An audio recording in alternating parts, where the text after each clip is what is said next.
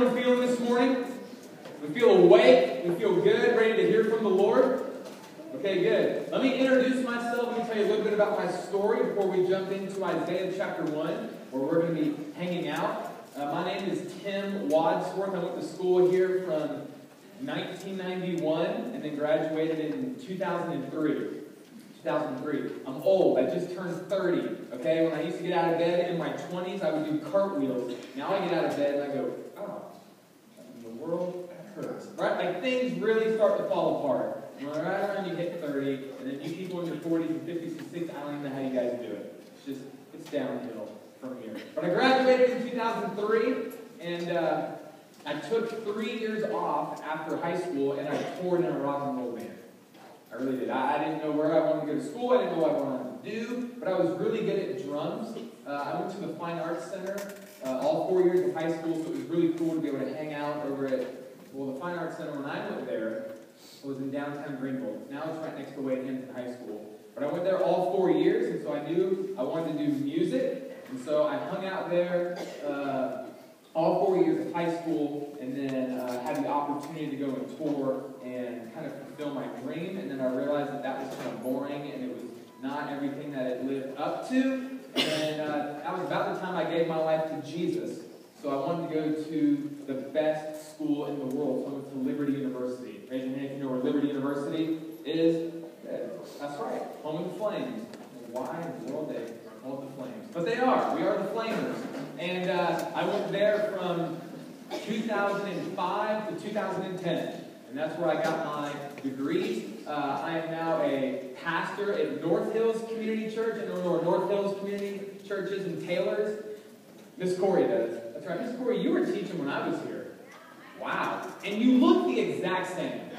Like, you don't age at all. Like, you go into a machine and you sleep in it, and it helps you not age at all. Unbelievable. And then Miss Loper's here. Where's Lori Loper? Yeah. Right. I mean, these are legends. Are Miss Corey and Miss Loper. We called her Sin Eagle Repole. That's Miss Lori Loper backwards. I don't even know how I still remember that. But that's what I took from my private school education. I remember. Sin Eagle Repole is her name backwards. And then is Miss Barrett still here? Okay, here's a fun story about Miss Barrett. Uh, my sophomore year, I took French obviously with Miss Barrett. I did really well. I got a D. I did really, really well. I got a D. Hey, D's and C's get degrees. At least I thought so. Uh, Miss Barrett made me take it again at the beginning of my junior year. Same class, same curriculum, same everything. I got an F. How is that even possible? There, I should have a plaque out in the mall area with my name on it saying, what an idiot. And then my picture. It's like that. Yeah, I took French. I got a D my junior, or sophomore year, took it again my junior year, and got, a, got an F. I, I hold a record here. That should be on my Letterman jacket. Old pin right there. But anyways, went to Liberty University. and I'm a pastor over at North Hills. Nathan Wessel, the good-looking kid, the beaver haircut, or the old school beaver haircut. He's in my youth group, uh, a live student ministry. We meet on Sunday night. Uh, our mission statement is just to help students find and follow Jesus. So I've been in North Hills now. This summer will be six years. Six years. Uh, it's crazy. Let me introduce my family to you. There should be some pictures. The first one, yeah, this is my family. Uh, that's my smoking hot wife. That's Rachel. I love her. She's awesome. And then that's my, well, he was one and a half in that picture. Now he's two and a half. His name is Judah. Uh, if you meet Judah, he will throat punch you. He's one of the most craziest, got so much energy, doesn't know what to do with it, so we're in the phase where he punches, right? And two, like two-year-olds have claws for hands. It doesn't matter how much you cut their fingernails, they will draw blood on you. They get excited, they're like, like Judah, like losing eyeballs. It's, it's crazy. So that's Judah. He's the apple of my eye. I love that kid. And then the next picture is Levi. Levi is, uh, he's going to be due May 29th. That's my second son. Uh, yeah, I haven't met him yet. When I do, I'll let you know kind of what he's like, and maybe I'll check that in. I hear my world's going to be rocked going from one child to two. Is that true, parents? In here, no? Yeah? People who don't have kids, you gotta love that. It's funny, the people that don't have kids love to always give your, you know, their opinion on parenting. And the parents really don't. It's hilarious. Before we had kids, everyone's like, oh, your life's gonna work, your life's gonna suck. I'm like, really? No, I don't, How many kids do you have? Oh, I don't have any kids. oh, good. Thanks for your two cents. Appreciate that. So, that's kind of my story. Um, I'm so excited to be here, obviously because I'm an alumni. But here's my goal in the next 20 minutes. Seems like a lot, but it's not. Here's my goal with you guys. I don't want to speak Christianese to you. Everyone know how to speak Christianese? You're a private school uh, kiddo, so everyone put your hand in the air. Does everyone here knows how to put them up? Everyone here knows how to speak Christianese. Okay? Let me show you a little bit of Christianese. You ready? I'm going to do my favorite prayer. And I'm going to, I'm going to say God's name at least 50 times. Dear Heavenly Father, Lord, Lord, Heavenly Father, thank you, God, for Jesus, Lord, Heavenly Father, God, creation of the world. Lord Jesus, thank you for that. Right? Like Christianese, we know how to pray. Where someone who's not in Jesus would be like, You're a different language. What does that mean? Right? So, like, the last thing I want to do is just come before you and speak Christianese. Like, I want to get down on your level. We're going to open up God's Word, and we're going to see what the Spirit has to say to you. Because my goal, listen, my goal is not just to come here and just do another chapel. That's not what you need. It's not what I need. It's not what the teachers here need. Our goal is to not just go through a religious ritual. And you get really good at that in a private school. Right? Like, I know how to speak Christianese. I made everyone around me think that I was in Jesus because I heard other people speak like that. And I was like, oh, good. Like, I won't get in trouble if I speak like that. And then when I left Southside, I went home, I lived however I wanted. And when no one was looking, right? Like, I, I, I lived to build Tim Wadsworth's kingdom and not God's kingdom. Like, everyone here, you know how to go through the motions. And Satan loves to do this to us. He loves to deceive us. Satan wants you to think that everything's going a certain way because you're just going through the motions. And that's going to save you. Or that's going to make people think highly of you. Or whatever it is. So, so my goal this morning is for this not to be just 20 minutes that we fill for the sake of filling. But like to look at the next 20 minutes to know that God is with us. His word says that we're two or more are gathered, like He is in our presence. He is in our midst. That's, that's an amazing thing. And for some of you, that's old news. Like you don't care because you've heard it every day and your heart has become a little bit callous towards that. Like, I don't think you guys are going to realize how awesome it is that you go to a Christian school until you're probably into your 30s and your 40s and you look back and say, wow, that, that's pretty amazing that I was able to go to a school that wanted to push me closer to Jesus. Like that, that's amazing. And there are kids all throughout the upstate of South Carolina, United States, the world that would die to be in your position. Some of you are just flushing it down the toilet. I know I was one. A lot of it, man, I just flushed it down the toilet. I didn't care. But hopefully, by God's grace, this morning, he's going to open our eyes to what he has to say uh, to us from Isaiah chapter 1. So if you have God's word, hold it up in the air. God's word, good. Hold it up if you have it on your phone. Know, I'm not allowed to have phones. Can I have phones? No? Oh, he went, no. okay, that's okay. Do we have uh, the Samuel L. Jackson voice on Bible Gateway to read it? Or do I need to read it? You have what? Yeah, I hit it. Yeah, let, let, let's read it. Isaiah chapter 1, we're going to be looking at verses 4 through 20. Isaiah chapter 1, verses 4 through 20. Turn in your Bibles or uh, turn your attention to the screen. Ah, sinful nation.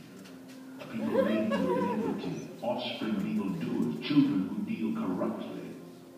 They have forsaken the Lord. They have despised the Holy One of Israel. They are utterly estranged. Why will you still be struck down? Why will you continue to rebel? The whole head is sick, and the whole heart faint. From the sole of the foot even to the head there is no soundness in it, but bruises and sores and raw wounds. They are not pressed out or bound up or softened with oil. Your country lies desolate, your cities are burned with fire. In your very presence foreigners devour your land. It is desolate, as overthrown by foreigners. And the daughter of Zion is like a booth in a vineyard, like a lodge in a cucumber field, like a besieged city. If the Lord of hosts had not left us a few survivors, we should have been like Sodom and become like Gomorrah. Hear the word of the Lord, you rulers of Sodom. Give ear to the teaching of our God, you people of Gomorrah. What to me is the multitude of your sacrifices, says the Lord. I have had enough of burnt offerings of rams and the fat of well-fed beasts. I do not delight in the blood of bulls or of lambs or of goats. When you come to appear before me, who has required of you this trampling of my courts? Bring no more vain offerings. Incense is an abomination to me. New moon and Sabbath and the calling of convocations, I cannot endure iniquity and solemn assembly. Your new moons and your appointed feasts, my soul hates. They have become a burden to me. I am weary of bearing them. When you spread out your hands, I will hide my eyes from you. Even though you make many prayers, I will not listen. Your hands are full of blood. Wash yourselves. Make yourselves clean.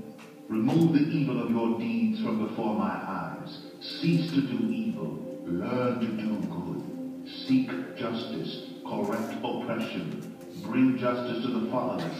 Plead the widow's cause. Come now. Let us reason together, says the Lord. Though your sins are like scarlet, they shall be as white as snow. Though they are red like crimson, they shall become like wool. If you are willing and obedient, you shall eat the good of the land. But if you refuse and rebel, you shall be eaten by the sword. For the mouth of the Lord has spoken. Awesome. Okay, so those 16 verses are super, super packed. So my goal this morning is to break this up into three different sections and then ask how can we apply this to 2016, the freshmen, sophomores, juniors, seniors, um, when you leave here to ask the Spirit to do a work in your heart. So let me give you a little background information of what's going here in Isaiah chapter 1. You've got the prophet Isaiah. Everybody say Isaiah. Isaiah. Here's why I love Isaiah. Some Bible trivia. Some of you maybe know this, maybe some of you don't. Uh, are you probably don't. And your homework assignment is by the time I leave this building, you can tell me why Isaiah did this. I have a gift card in my pocket for you. Isaiah is a prophet of the Bible who walked around naked for three years. I kid you not, it's in the Bible. Your homework assignment is to come to me and tell me why, what was the purpose of Isaiah's obedience in walking around naked for three years. But you've got this prophet. Kind an awkward transition. But you've got this prophet, his name is Isaiah, okay? And then we've got God's people, okay, the Israelites, are divided into two nations. Okay, you've got Israel, and then you've got Judah. Okay? Everyone say Judah. That's going to be really easy to remember. My son's name is Judah. Okay? He already has a little pot belly. Kids are already calling him Buddha. It's not good. Okay? Pray for Judah. It's that. Yeah, he was dealt some pretty bad genes for me. So, you've got Judah, okay? And then you've got Israel, and you've got Isaiah, the prophet Isaiah. And then you've got these guys way up north called the Assyrians. Everyone say Assyrians. Okay, very cool. They're bad named Janus. Okay? The Assyrians don't mess. Okay? You don't want to mess with the Assyrians. Okay? Then you've got God. Everyone knows who he is. Uppercase G. Everybody say God. Okay, so these are the four people that we're going to look at when we look at the background information of Isaiah chapter 1. And you've got Israel who's just doing what is right in their own eyes. They're living in sin. Okay? And God has warned them over and over and over again what the destruction of sin does and what that looks like. And then God starts to deal swiftly with Israel. Okay? He lets the Assyrians from up north, and this is around 8th century BC. Okay, what does BC stand for? All right, right. Thank you. Right, BC, he lets these Assyrians come down south and just own the Israelites. They were protected when they walked in obedience, but because of their sin, God deals swiftly with that. God judges that. And so destruction came upon Israel. So that's why God sent Isaiah to go to the nation, or excuse me, the yeah, nation of Judah, and to be a mouthpiece for God. That's what prophets did. They're a mouthpiece for God. And so Isaiah goes to Judah and goes, Hey guys, wake up. Look what is happening in Israel. If we don't repent and turn back to the Lord, this same destruction is going to come upon us. And here's what's so different about the two nations. Like the, the uh, in Israel, like they turned from God bad and didn't even try and hide it. Like they were rebellious and they just did it unapologetically. Then you had like Judah, who was still living in sin, but still tried to trick people like they were living for the Lord, and still went through their religious rituals, but still like denied God with their actions and their thoughts, and they were teetering on being just like Israel. So Isaiah goes over there and says, Guys, wake up. Like you don't understand the destruction that is coming upon your doorstep because you're rejecting God. Guys, there's only one type of person that I believe is in hell today. It's not just like a murderer or a thief, or there's certain people that hell is dedicated for. Like, hell is just dedicated to people who just reject Jesus. Even if they were a good person, lived a good life, if they reject Jesus, then the Bible has something to say about that. Where Jesus is the way, the truth, and the life. No man enters heaven but through Jesus. It doesn't matter how talented you are, or how good looking you are, or how popular you are, that does not save you. It doesn't matter how popular you are, because you're going to leave here, and you're probably going to keep in touch with two or three people, okay, and then go to a brand new place where you have to start over, and you're going to be a nobody. Let's pray. I'm just kidding. No, but that's like really sobering for us. So, so we've got this going on with Israel and Judah, and they're living in sin, and then God is allowing the Assyrians to come down and bring this destruction upon them because of unrepentant sin. And you've got Isaiah going to Judah and saying, Look, this religious ritual stuff is not cutting it. Repent, turn to the Lord. So, do we kind of understand the background of what's going on in Isaiah chapter 1? Because here's what we're going to see. We're seeing this broken into three sections. Number one, the first few verses, which is verses 4 through 9, we're seeing very, a very big confrontation going on. God is coming. He's calling them out. There's confrontation. Have you ever had to call someone out? And when I call people out, like my lip quivers. Hey, you! Stop! Right? Like I get scared. Like I don't like confrontation. I'd rather just be friends and hug and high five, right? I don't like confrontation, but we're seeing that going on. The second part of the 16 verses is we're seeing fake worship. Fake worship. And then the third part, we are seeing incredible grace from the Lord. And so here's the big idea. Like, this is the main reason why I think Isaiah chapter 1, verses 4 through 20 were written. And this is for you. If you're a note taker, write this down. You get in the car and you talk to your parents or your friends, and they say, What in the world did Tim Wadsworth even talk about? Like, what was the big idea of his sermon? Here's the big idea, okay? The sin of God's people repeatedly stood in the way of their relationship with Him. And we're seeing that. There's normally a pattern that you see, and it breaks down into four sections in Scripture. Number one, you see that people just sin. They don't care. They just do whatever they want. And then number two, we see that God deals swiftly with sin. God doesn't turn a blind eye to it. And then number three, they repent. And number four, you see incredible grace. And so that's kind of the big idea. This is what I want to talk to you guys about for the last eight minutes that I have. Is the sin of God's people repeatedly stood in the way of their relationship with Him. And so here's something that I really want to press to you guys. And I want you to start thinking.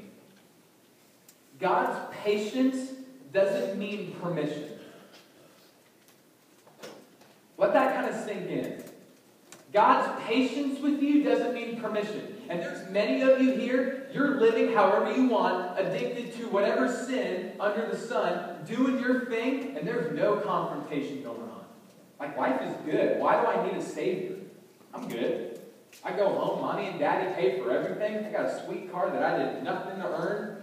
And if you have a really sweet car and your parents paid for it, that's what I think you. I had to drive a piece of junk Ford Ranger that broke down every day out here in this parking lot. But, I, but God loves you. That's awesome. Well done for your BMW. I have no resentment or bitterness at all. But like, listen, Especially for like that chick that's sleeping right there, and homeboy over here that's sleeping with his Letterman jacket on. Hey, homeboy, everyone look at homeboy right there with his Letterman jacket. Say, hey, Frank, wake up! Well, I'm cool with my Letterman. Yeah, we get it. So listen, I'll get my Letterman jacket out, and it's better than yours. So listen, back up here. God's patience doesn't mean permission. And for some of you, life is fine. You don't see any confrontation. Like, why turn to the Lord? You're going to do what's right in your eyes, and everything's good. I'm going to continue to live this way because I think for some reason God just doesn't see my sin. Up here. Like, God doesn't see my sin. And I'm here to tell you, He does. There's nothing you can do to trick God, there's nothing you can do to manipulate Him. Just because you're maybe you're talented or you're good at something or you're well liked, like that doesn't forgive you of your sins. Just because you go to Southside Christian School doesn't make you a Christian. Just because you claim Christianity doesn't mean you're following Jesus. I a great saying. I don't even know if we're allowed to use this word around here, but, but here it is. Crap or get off the pot. Thank you. I was waiting for the gas. Listen, guys, either you follow Jesus or you don't. This isn't a game. And for some of you, you claim Jesus, but you don't live like it. Some of you, you claim Jesus. I'm losing my microphone. Get on there. Some of you claim Jesus, but you're following and worshiping something else. And so I just want to encourage you. Like, my personality is get off the fence. If you claim Jesus, follow him. Read his word. Take advantage of being at a Christian school. If not, confess it. And don't try and be fake and just go through the motions. That drives me nuts. And it's a horrible way to live. And I live like that. Elementary school, middle school, and high school here. I claimed Jesus, but then I denied him with my heart. My prayer for you is that you actually realize that you do need a Savior and that Jesus loves you a lot and has came to give you life.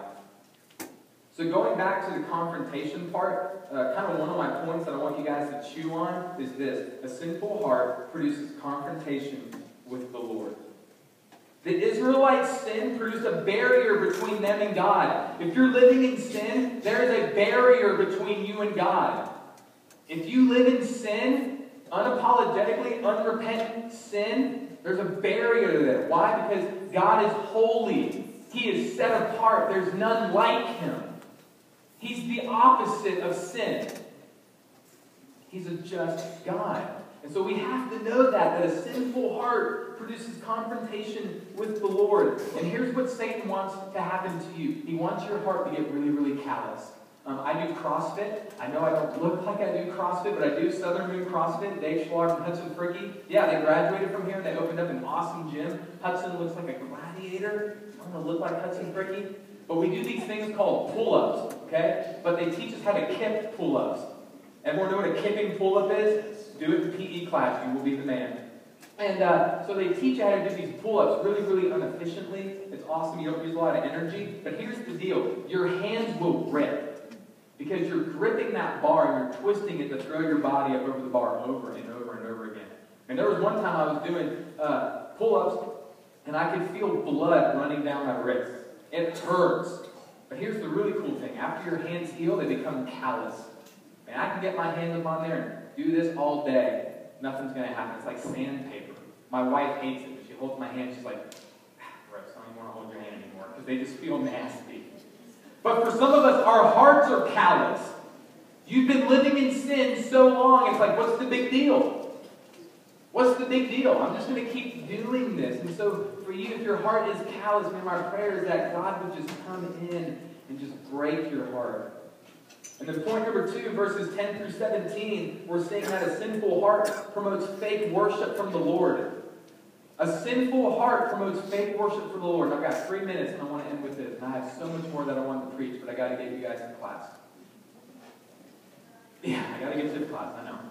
So, looking at point number two about a sinful heart, how it promotes fake worship to the Lord, here's something really sobering, and here's something that's really awesome. God doesn't need you, God doesn't depend on you. And if, you, and if I were to die tomorrow, the gospel is going to flourish. When God looks at me, He's not happy that I went to a private school. When God looks at me, He's not happy that I'm a pastor. He doesn't go, wow, Tim, you're so cool. Look at what you do. Hooray. No. But here's what's amazing. If you're in Jesus, when God looks at you, He is very well pleased because He sees His Son. There's nothing you bring to the table that's going to make God love you more, love you less, or any of that garbage because when He looks at you, He sees Jesus. Females, listen to me. You don't need a guy to find your worth in. Find your worth in Jesus. Hey, guys, you don't need to be the best at a sport or an instrument or be cool to find your worth. Is your identity wrapped in the person of Jesus? So when God looks at you, he is very well pleased because he sees his son. And so when we go through the motions of fake worship, God is not pleased by that. When you go back and read this passage, um, God is even saying, like, hey, look, these, these offerings that you bring, that's an abomination to me. Because we know Old Testament, they had to bring like a goat or a pigeon or something for that shed blood to be the atonement of their sin for a little bit of time.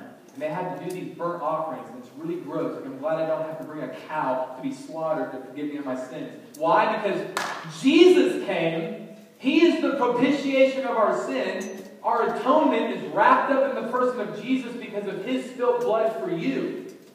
So if you're saved, that's it. One time. One time shed blood. Romans says, Call upon the name of the Lord, you shall be saved. No more fake worship. God is saying, Your burnt offerings to me, I don't want them. That's an abomination to me. It's kind of like if you were to tithe, if you were really pissed that you had to put that check in the offering plate, God doesn't need your money. God cares about your heart. And that's how I'm going to finish, 1020.